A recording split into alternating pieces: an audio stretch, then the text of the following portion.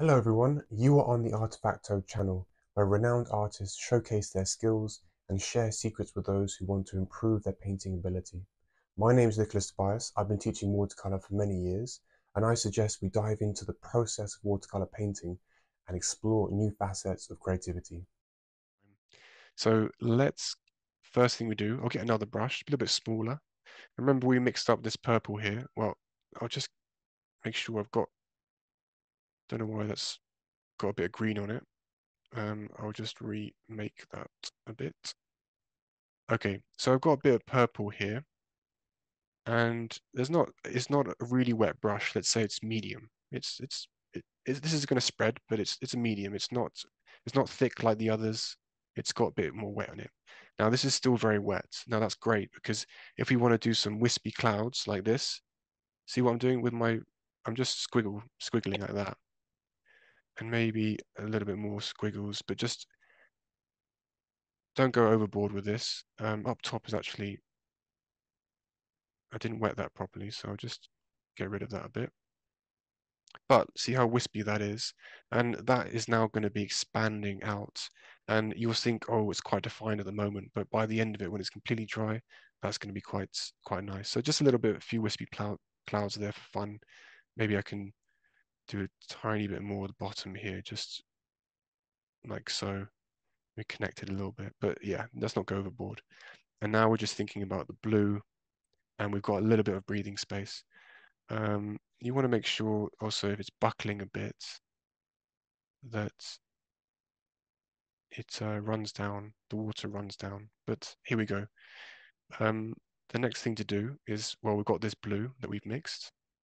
So that's waiting for us. We can get ready with it. And essentially, you just have to see for yourself, look at it quite closely. Look, is it is it drying or is it not drying up? Here it looks like it's drying quite strongly. I might need might even need to re-wet this side here a little bit more because it's clean water. I can do it. I can do that. Um, and let me just uh, do one thing before we start that. But get ready with the blue, and we need to make sure that we have not too much water on the brush before we start. Um, now I'll just plug this laptop into the charger just so that we can keep the show going. But right, we're ready now. Okay, so let's let's get the blue and just give it a little test. Look at that, that's quite strong. It's really quite wet there, but I think it will be fine. It's going to melt out well and enough. And here we can just let it go a bit. But we can just give a little bit of a line like that. That's a bit more strength. That's fun. Um, and then let's just come down with it. Uh, maybe a few little holes, white holes or whatever. But we don't need to worry too much. And we can cut over this bit as well. Don't worry about that. So, and let's just bring it down, get quite quick and nice with it here. Uh, maybe there's a few little holes in there, etc. Stuff going on. Um, but we can now change into the next bit that we've mixed up. So let's bring that onto our brush. I can pop this other brush down. And like, quickly, we're just going to cut into it. So essentially doing what we did with one of the thumbnails, which was the first one we did, where we were layering. So I'll bring it up quite a lot. Let's get a bit of definition in the top there. This is all very wet, so it's going to dry quite nicely. When it comes to the bottom, we're just going to try and really use what we have here um, on the side of our palette. And now we move to, um, well, before we do that, just make sure there's no hard edges here. So with a relatively dry brush, see that? I'm just going to soften this if it's dried on me. It just it just needs to be more wispy if, if, if you've got any bit like that. I hope you enjoy this video I always strive to provide useful content for my viewers and students. If you're interested in delving deeper into watercolor techniques and painting principles, I encourage you to join me in my new workshop. We'll explore dynamic sketches and create captivating final pieces So check out the link in the video description to register for free. I'll see you there.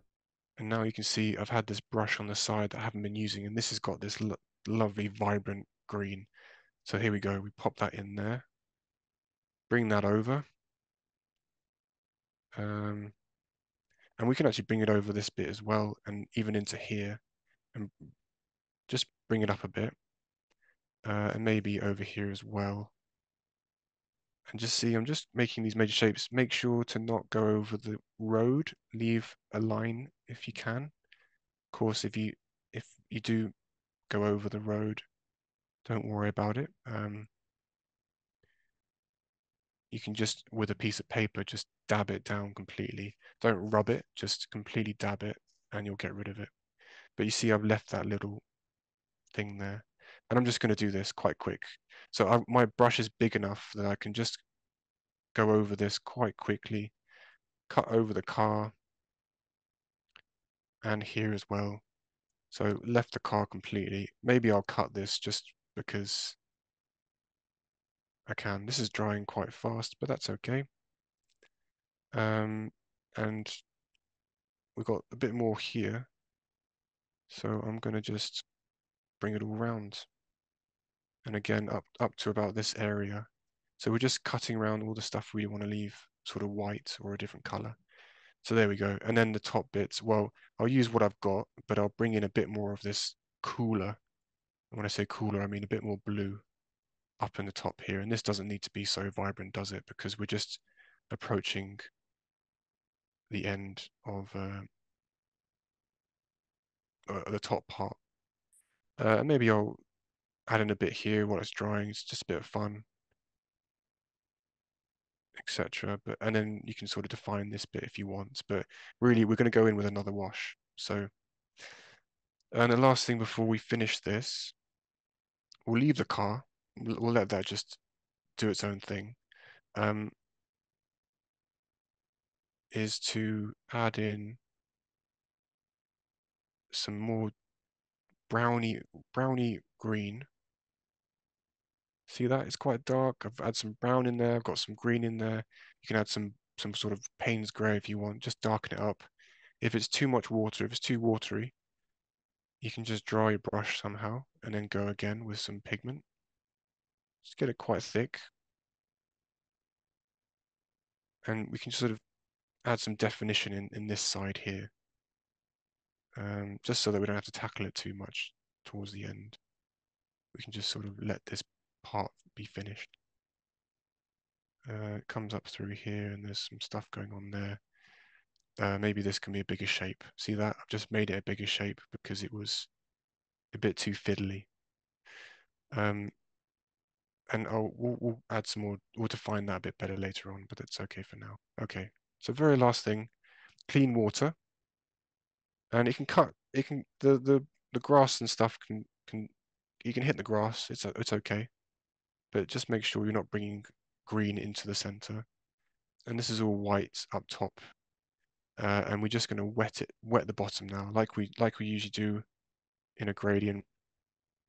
Wet that nicely. And again, we're just thinking about drying time. So um, I'm just going to wait a, a, a little bit. Um, and while we're waiting for it, we can mix up a gray. So I'm going to use this purple bit that I did on the side here. So blue, red to make a purple. And how would you make three? Sorry, I'm giving it away a bit how would you make two um wait that doesn't make sense how would you make a gray well you mix up the three primaries that's what i was trying to get at and it did not come out but there we go so blue red and yellow. Uh, I've already got yellow there. So that's sort of a warmish so I'll go a bit more into the a blue. And what do we want? It want we want a bit more of a gray warmish sort of grey. Um, okay, it's quite strong, and you can see it's it's it's it's in the middle consistency wise. It's in the middle. Um, And let's do it while this, before this dries. Oh, look at that. Can you see that? Look how strong that is. And we're just going to bring it up, horizontal marks, just same, same brush, and let the water absorb it and see how it's just fading out naturally as I move up. Horizontal strokes, not all the way. Uh, we want to leave that light because this will be all much darker. So we want that want to be some nice light there. And what I'll do is I'll go back in with the same brush, just get the rest of that stuff, and then do another strong bit at the bottom there. And again, just come up again. We're just caressing the paper.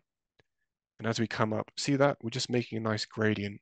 And that should um, that should dry quite nicely.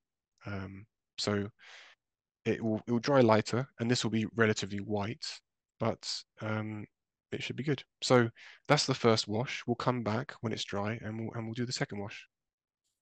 So let's mix it up. We've got, I've already got a bit of darkness in here, so I'm going to use this as my darkest area. Put a bit of water in there because I want to mix, want to mix up a good amount. Let's get some strong amount of green. Uh, really get some big green, big amount of green there. Already I'm going to sort of warm it up, put a bit of red in it, and that just dulls it down. You put a bit of red into green, whatever green you've got, the red is going to sort of act as a as a way to make it a bit more of a grey, uh, and that's and that's useful. And then if you put a bit yellow, it turns it into a bit more of a standard green rather than a very dull green. And this needs to be um, more vibrant, warmer than this, right? So as long as this is not particularly blue and a bit more of this sort of not dark green, we're in we're, in, we're onto a winner. Um, and what I'll do is I'll get this bit. I've got some some of it on my brush already, but I've added in some Payne's grey. And look at that, that's absolutely strong right there. Really thick. It this it is still sort of dark green, you could say, but bordering on just a real dark sort of blacky color. And now we've got the two things that to help us bring this down. Um, and actually, I think we're almost ready to go. I can't really think of anything else that's incredibly necessary just yet. Maybe we'll mix mix a bit of this light to get a bit more definition here, but I think that's good for us. So, um, well, first things first, let's start with the top. Um, I won't use this brush just yet, but something like this is useful when we want to create these bigger shapes within the darkness. It can't all be these small, tiny little leaves. You have to have a little bit of leaves and then think about these bigger chunks of the darkness. And that is going to help us define this in a nice way, keep the shapes relatively big because it, it, it becomes a bit too much if everything's small. So I'll leave that there for a sec, but let me just dry this a bit, get some thick paint in, and here we go. Let's go for it. So maybe actually I can even use this to do some of the dark bits, um, like so. So just kissing the paper, it's dry, everything's dry, which means that the marks you leave, and if you put the side of the brush, give it some, some, just caress the paper a little bit, and then come down with some bigger marks. Maybe this whole side can be a bit dark there just squiggle in a bit. Um, but we can leave some nice little marks uh, of trees there and stuff. And I might go in with a smaller brush when I'm coming out a bit further. But that seems to me like a good amount to go out with this bit more dark, with this dark stuff. And maybe I'll actually add a little bit more, tiny bit more dark to that because it's going to fade a bit. Okay, I'll try and break up. I've done a big shape there.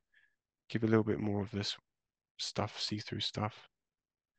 Uh, and then we come down and here we're going to let this melt into a lighter part of it.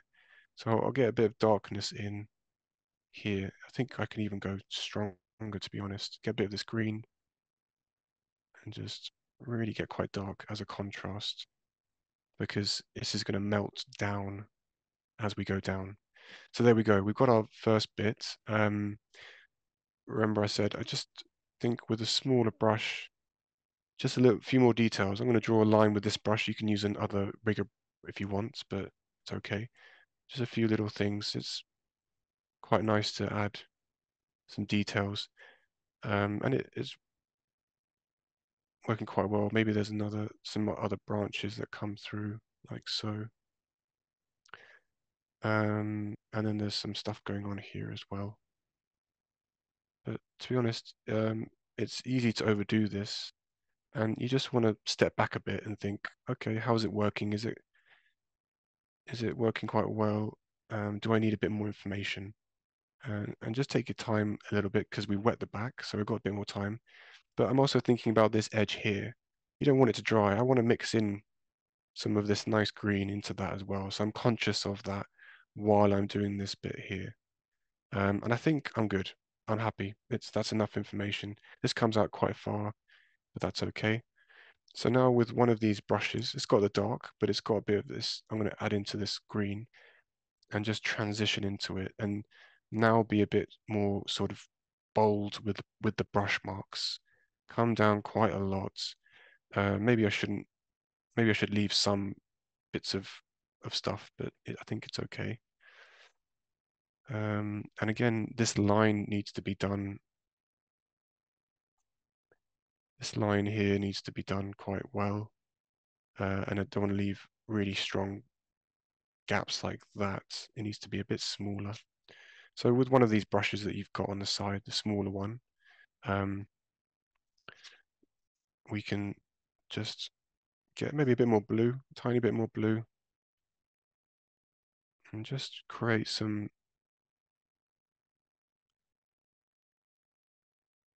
some trees there, some stuff going on. But uh, what I would say is don't make it too busy. Don't make it too busy. If it can sort of can connect, I mean, you could even put, if you wanted to, drop a tiny bit of water there, just let things melt a tad. You know, it always creates some nice effects. But let's let's come down now. So let's bring a bit more water into this, a bit more green. Um, we're going to go a bit more yellow and yellow and red into it. So let's warm it up a bit, but keep it relatively dark, remember. Um, and I'm trying to think now the edge of this. Don't just make complete block of darkness. Let's let's now really think about leaving some of the underwash. Um, I can even come in a bit with this lighter stuff and bring it up a bit if I feel like it's gone a bit too dark up top there. So, okay, but we can cut round stuff, cut round the the sign, uh, leave a bit there, be a bit bold, but also don't go over all this light stuff. We want to things to melt in. So I'm just blocking in some of these major bits that I can see. There's a bit of it there, and there's some stuff going on here. Um, and there's a bit of stuff going on there, and there's a tiny bits here. But this is what we can do because this is quite thick, and because we're working wet on dry, I can get a piece of clean a brush with clean water, and just allow this stuff to melt a bit. Just just kiss the edge of this I'll bring it up in a sec to help you see what I'm doing. Um, but I'll just get a few effects first. So maybe I can bring this to the side for a sec. And I've, I've blotted in some really strong stuff there. You can see that. And just, I can see how I'm just adding in a bit of water and letting that run together. And that creates some nice running effects. And um, it doesn't, it's not all the time. I can leave some hard edges as well. But if I just leave a bit of darkness, sorry, if I just cut into the darkness with some light, it will run down. See that? That will run down into here now. Um, and what else do we want to do? Soften this a bit. Uh, you can't see that, sorry. Soften this a bit, etc. So we've got a bit of time just to make this a bit more defined. Um, and I, I, will go in with this small brush and again, maybe get a bit more darkness and then think even more about where I want things to be. Um, it sort of comes down a bit more. And yeah, that's okay. Speaking of different techniques, watercolor techniques, we have a question from Dave. Do you sometimes lift out color with a clean wet brush or a towel or a Q-tip? Yes, um, I usually use a piece of paper like the one I've got here. Um, I'll just crunch it up and it, I find it difficult to, to be quite strong with it. So I would usually like, so it's good on a really big area. So on like this, if I felt like this needed a bit of light coming into it, it's quite thick.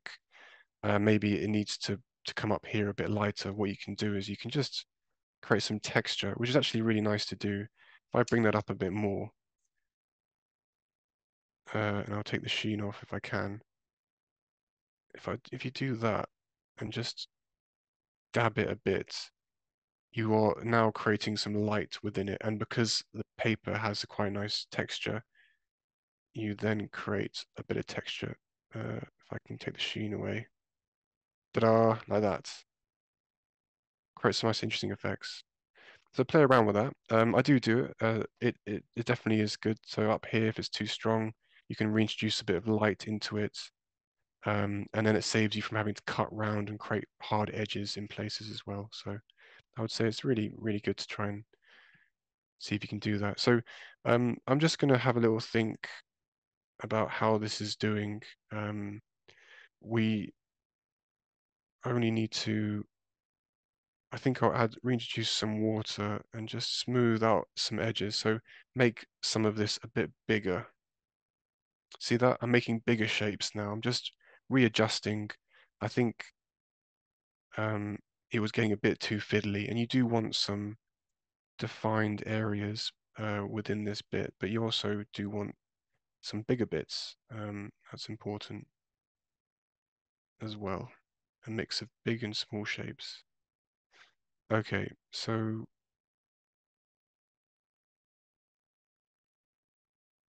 I think we're we're doing well.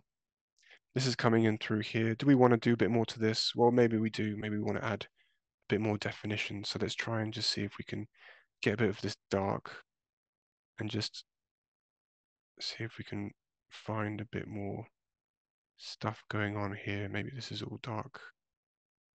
Um, and maybe a bit more blue. That's a sort of shadow area. And again, if it's too busy, just make it one bigger shape. Um, I'm sort of happy with that. Maybe a bit bobs and bits and bobs here. Define this edge a bit better.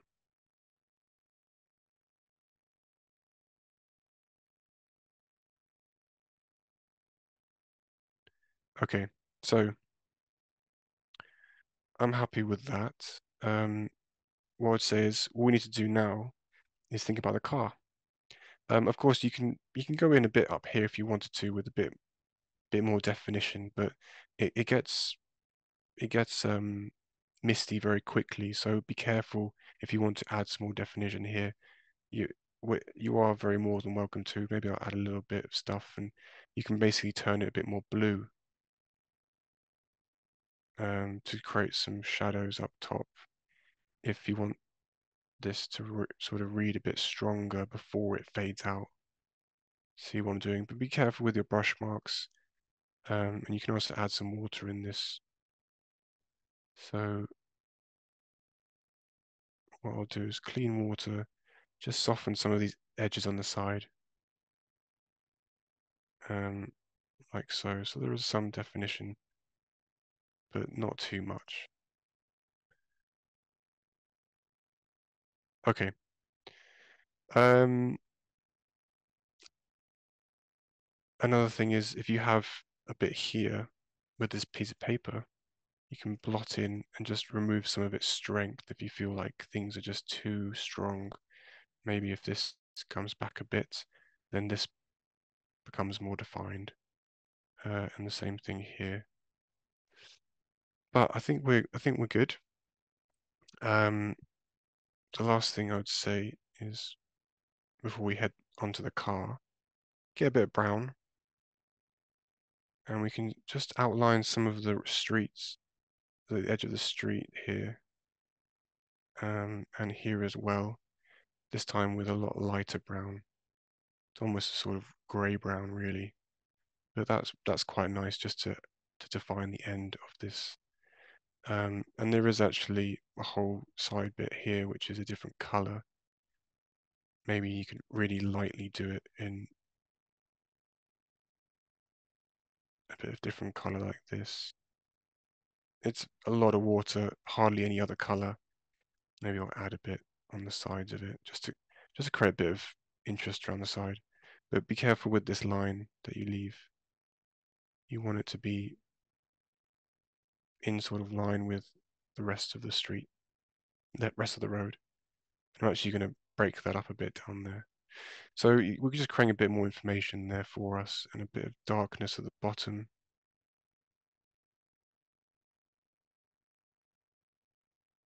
Uh, at the back there.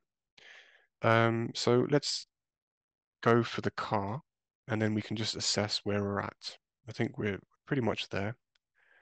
Um, for the car, I'm going to be quite true to the to the reference. Um, you can make you know any color you want, but I'm going to go for a sort of grey, sort of bluey grey color. Um, quite dark, I would say. And this is quite thick pigment, so uh, what I'll do is I'll do. Oops, that's not enough water. Didn't didn't really. There you go. You should be able to do that quite nicely, as in just do one large brushstroke or a couple of brushstrokes to fill it. If you can't and it's too staggered, you haven't got enough water. Um, and so we'll just build that for a sec, and then probably do the wheels as well. I want to make sure it's wet um, because it, shouldn't be dry just yet. We're going to melt things in a little bit and do it that way. Um, because now we can get a bit red. Now I'm going to use just a strong red. Um, any red that you've got, cadmium red works, or if you want to use alizarin crimson, which I've got, or just want to use the rose madder, which we can, which I've got as well. Um, this is Pyrrole Scarlet, the brightest of my reds. Any any sort of mix. I guess it, it having it more of like a rose maddery color would would be would work well. But let's just really thick, difficult to see. I can I can I can tell if I can do that. There we go. Drop that in. Um, if I do it sideways, you can see. um, now, what you can actually do with your nail is scratch a little bit of the plate license plate. See that? I just just scratched it. Uh, I'll try and scratch it like so, so it actually looks okay. While it's wet, if you scratch like that, it just creates a bit of light there, just to just to help the viewer um, know that it's um, there's a bit of light there and it's it's a license plate. And then the top bit, well, um, it mostly be white, so I'll put clean water there first. And then maybe a little bit of blue onto the windscreen, just not all, all not everywhere, just on parts of it. Um, and I'll actually get a bit of dark color and cut around the top just to make sure it's flat. Otherwise, there's maybe on one side as well. Don't forget to add in the mirrors just quite nicely and quickly. Um, you might want to reintroduce a bit of the dark at the bottom if it's sort of faded off a bit. And we want to connect it to the ground. And how do we do that? Well, we do that by adding a shadow. So I'm just going to see that the, the wheels are now wet. And I'm just going to do a nice sort of smooth line, a bit more to the right. See that? A bit more to the right. Just try and make it, make them horizontal. Where you'll go wrong is, is if you don't make these lines relatively horizontal. Um, and it's less important about making them fade out as long as the shape is good. Um, so that's that that would that would be nice. With a relatively dry brush, I'm just drying it, clean water, and then drying it. You can just fizzle out on one side a bit, like so. And if you wanted to, a tiny bit on the end. There's basically no water in this brush, and that allows me to just fizzle out the end without it being such a problem. Um, and that's quite high, but that's okay. That's okay. So, final detail on the top of the car. Um, other bits and bobs I want to include. Well, if you've got white with you, you can just add some white to create the lines of this.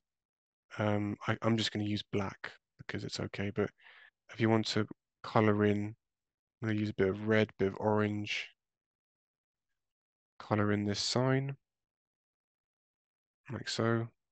I don't mind if it bleeds a little bit. I do have to be careful that I've cut around this and now it looks like it's got a green halo. So with, again, clean brush, just going to absolutely get rid of one side of that. See that? Just brush that away. So that one side is clear and doesn't look like it was just a cutting halo. Maybe I'll bring this up a bit as well. There we go. That's a bit better. Um, okay, tiny bit more definition on some of these some of these bits of foliage. Maybe we can add in a bit of blue, and that sort of is quite nice if we add a tiny bit of blue, just because it reflects the blue that we see behind there. So, um, and there's a few little bits of stuff, more detail here, which would be quite nice to include. Um,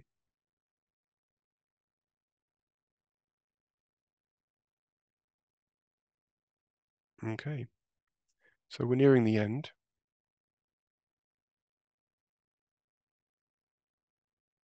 Um, and I'm just thinking about final piece, final bits and pieces. There's the yellow um, of the road as well, which we can we can try and add in.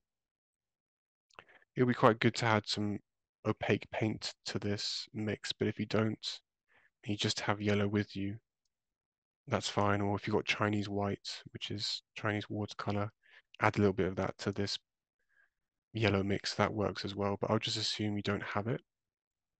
And we'll just do this together. So a bit of strong yellow. This is completely dry.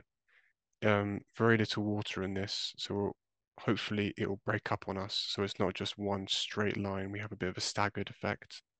And to do that, you can dry it even more. So I'm just going to dry it on my on my um what's that called? Sponge. There we go. Uh, think about the perspective, right? So if remember we had our vanishing point around here. So we want the the line to come around here and it can curve a little bit, but mostly, and don't go underneath the car because it will look like the car is, is on the wrong side of the road. And so even if it helps you put that line there and just lightly come round like so. Uh, oops, like so. That's okay. If I do the other line a bit more like that, I think that will work. Or maybe even a bit straighter and a bit bigger. Um, and yeah, you can use a tissue if you want to just make it a bit more lost and found. Dab, dab, dab. You don't want to have a real strong sort of um, complete line there. It, you know, it is good to sort of let it fizzle out a bit and etc. But okay.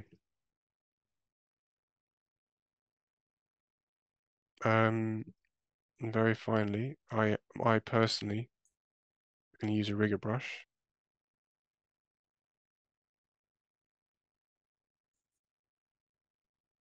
Like so. And I'm just going to draw some lines. So one line here, one line to connect the um, sign with the, with the ground. Uh, and if you wanted to, you can actually scratch on this because it's still wet. So you could probably scratch in, see that? A few little lines just to indicate trees, but be careful, don't make the lines too thick. I think that was arguably too thick. So use the side. And there's some stuff going on here. Um, and maybe a tiny few lines. It's so easy to overdo that. So actually, I'd, I'd say maybe I can make it this white line if I scratch through. Not really. I think I might need a a black line for that bit there. Um, but these are final touches. This is just like I'm just thinking now about how things are, and um, but really, I think we're in a good place. Um, I hope this video was helpful for you. Please subscribe to our YouTube channel where we assist all individuals in mastering drawing skills and immersing themselves in the wonderful world of art. Uh, I'd love you to join me in my free workshop, so follow the link in the video description and I will see you there soon.